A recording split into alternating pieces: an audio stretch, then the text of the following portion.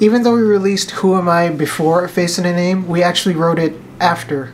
Who Am I was the second song that we wrote as An an acoustic acoustic-ish duo. Um, and again, we had the live show in mind. Um, how can this song work with, you know, just the guitar, just the tambourine, but feel full and complete? Keeping with the theme of identity from A Face and a Name, Who Am I also examines what defines you. It's just something you have to ask yourself almost every day. Who am I? Like, what makes you you?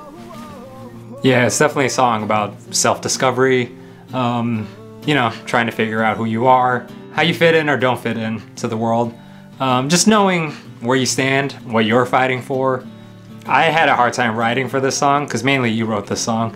Uh, you came up with, I'm gonna say like 80% of the song. It might have been the strumming for the song because the verses were mainly upstrokes and then Yeah. the choruses were mostly downstrokes. Yeah, just something about it. It was just hard to rap to. It helped adding the tambourine to just sort of, you know, keep a more steady four count tempo for me to rap to. But I almost had to like ignore the guitar parts in order to write my part, which is kind of weird. Um, but I think it worked out. We make it work. To the crack in the frame. It's all that I know. Sick of the show. Where do I go now? For the longest time, I've wanted to write a lyric that was repeated, but the meaning changed based on how it was enunciated. So the first time you hear, uh, Who am I? I don't think I know.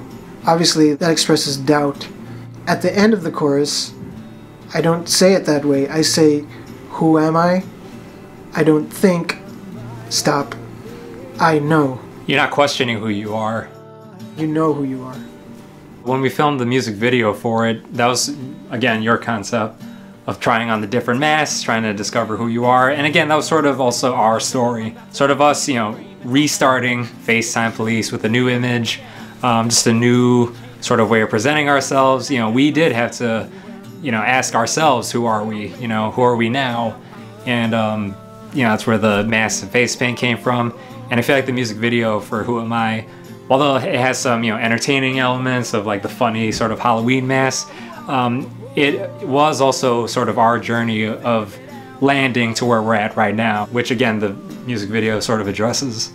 Who am I? I don't think I'm ready to figure it out. I